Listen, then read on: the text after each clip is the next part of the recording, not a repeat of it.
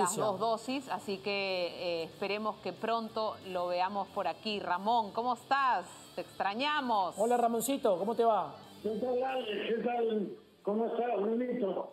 Bueno, contento de verlos a ustedes, rosaditos, radiantes. sí, Ramón, bueno, esperemos, ya nos estabas contando antes de, conversar, de empezar esta conversación, nos estabas contando que ya tiene las dos dosis de la vacuna, así que esperemos tenerte ya para la, para la fase 2, ¿no? De la Liga 1 Movistar. espero, si no voy a salir en una marcha. Muy bien, Ramón, te vamos a traer de todas maneras. Ya es necesario. Bueno, bueno, Ramón, estamos este, ya a pocos minutos de que se inicie el partido entre Perú y Brasil y quisiéramos preguntarte cuáles son tus expectativas respecto a este partido. Bueno, yo creo que ah, con Brasil siempre hemos jugado bien. A veces hemos perdido, casi siempre hemos perdido, pero jugando bien. Siempre hemos hecho buenos partidos desde, la época del 70. Los partidos tendrán ajustados para esta noche, a mí me preocupan mucho los laterales, ah. porque son prácticamente Corso y, López.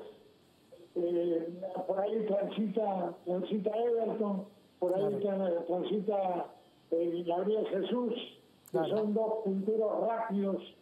Y, López, López es un muchacho que recién está eh, agarrando experiencia el corso no es tan rápido como el vínculo para poder frenar a él. Entonces, por ahí va, pienso yo, hacer una doble marca, apoyar a Tapia, a Tapia para apoyar a Corso y, y, Yotún para apoyar a López, sobre todo, ¿no? Eh, porque por el medio estamos bien cubiertos. Yo creo que, que Tapia y Yotún hacen, hacen una buena una buena dupla de de recuperación y Cueva con, con Peñita tienen la pelota, saben, saben manejar los tiempos, saben tener la pelota, saben cuidarla. El medio campo está bien copado por ahí. Yo creo que Brasil va a tener dificultades con nosotros con el medio. Por ahí no nos van a llegar, nos van a llegar por los costados, claro. que donde estamos más vulnerables. Eh, Galese, ojalá que repita la actuación que tuvo en Ecuador y, tenemos un Lapadula que ha encajado Pepe y Carrillo, dos jugadores importantísimos adelante. Eh, Lapadula es un, es un centro delantero que, que todos los volantes lo quisieran tener, porque es un jugador que, que se muestra mucho, eh, crea los espacios, siempre está desbancado, es rápido, va muy bien por los costados, eh, transita siempre por los lados, te marca, te marca la jugada y es muy fácil para un volante eh, lanzar, lanzar porque siempre ahí, ahí lo vemos en la, en la pantalla, cómo llega por fuera y no es egoísta. Él no es un loquito que quiere definir porque se ve frente a la... Él busca la mejor opción siempre para poder para tener éxito, ¿no? Toma, toma buenas decisiones, ¿no? Sí, perfecto. Los, los dos goles de, de Perú, la decisión fue él. Exacto. Y, llegó por el costado, por el costado, o sea, aprovecha el espalda de los laterales muy bien. Mm. Y tanto por derecha como por izquierda, esta vez le tocó hacerlo por derecha, pero por izquierda se mueve muy bien también.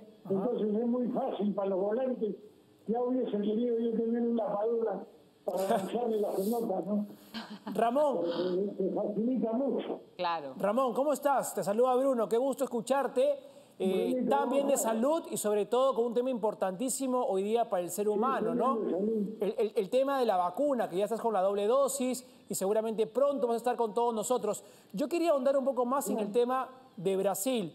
¿Cuáles son las mayores virtudes de este equipo de Tite?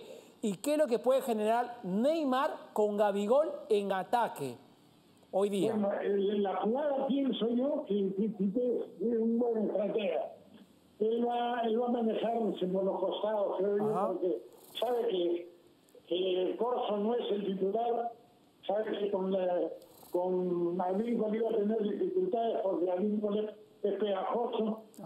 Eh, y Jesús Gabriel es un goleador, va siempre por fuera, tiene así diagonales.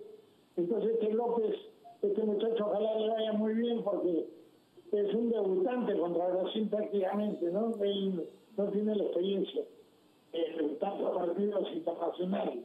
Y en estos partidos se necesita, se necesita promo, experiencia, buen recorrido. Eh, ojalá YouTube lo, lo dirija bien entre la cancha y lo puede, lo puede ayudar mucho. Y como te decía, eh, Neymar, Neymar se va a mover por el medio, pero va a tener dificultades.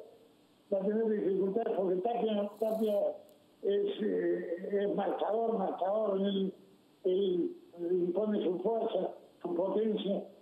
Y, para pasar ahí, por el medio va a ser difícil que pase, ¿no? Con, con Cuevo y Peña que tienen la pelota, que saben, la, Peña sabe caminar la cancha muy bien, en la mitad camina muy bien la cancha y, Ramos, que me gusta a mí, es el que más me gusta de los cuatro de atrás, porque Ramos ya tiene experiencia, no es un jugador muy brillante, pero es un jugador que, que rinde, me hace, me hace acordar mucho a, a Orlando La Torre.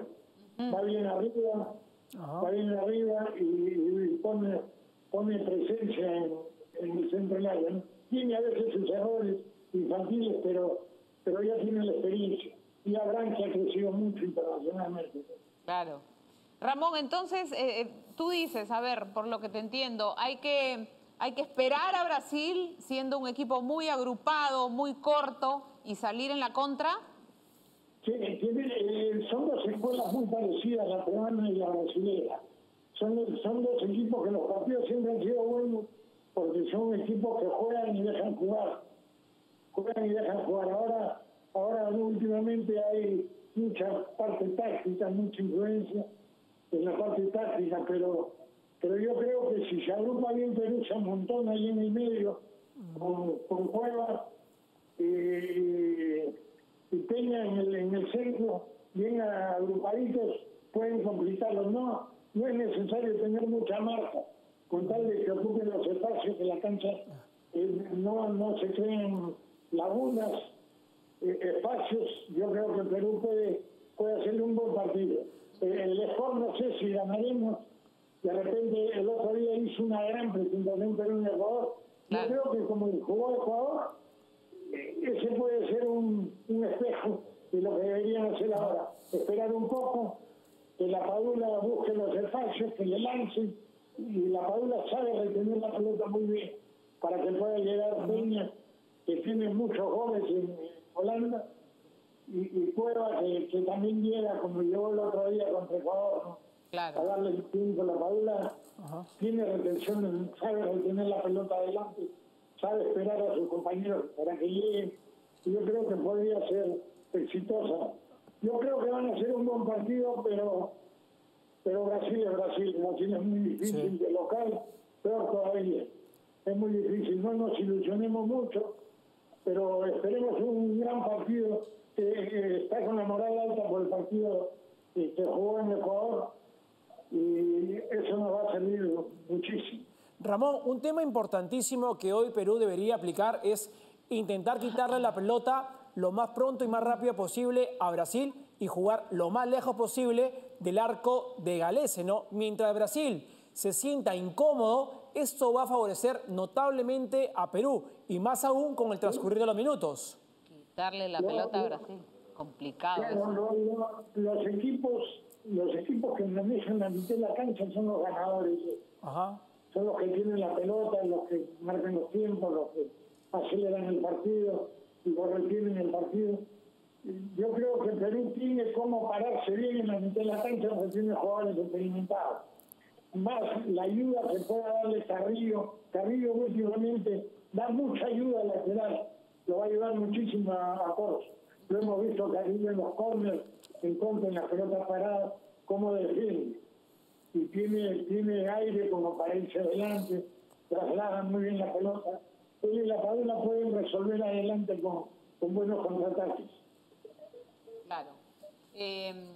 Bueno, Ramón, muchísimas gracias entonces por haber estado con nosotros. Ha sido un gusto, siempre es un gusto conversar contigo, Ramón. Eres una voz autorizada precisamente para hablar sobre la selección peruana y sobre el fútbol en realidad. Ha sido un gran jugador y ahora un gran comentarista y te extrañamos, este Ramón. Gracias, Ale. Ya pronto, ya pronto voy a rezar para estar con ustedes. Claro que sí. Si no me van a acompañar en hacer una marcha. De todas maneras. Te acompañamos en la marcha. Aprovecho para darle un feliz día al padre a todos, a todos los papás del canal. Muy bien. Listo, Ramoncito. Gracias, Ramón. Un fuerte abrazo. Igualmente, un abrazo.